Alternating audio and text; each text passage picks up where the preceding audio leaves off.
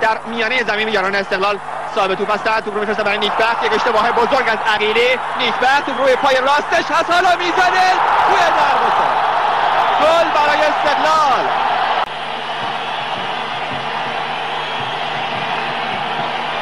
استقلال یک سایپا سه. توی دروازه.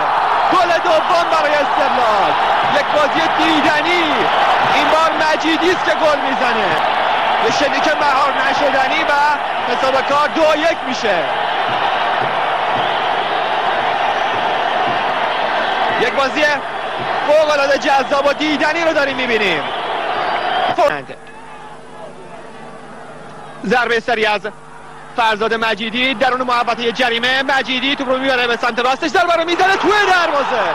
گل برای استقلال. رو رها کرده بود. و این هم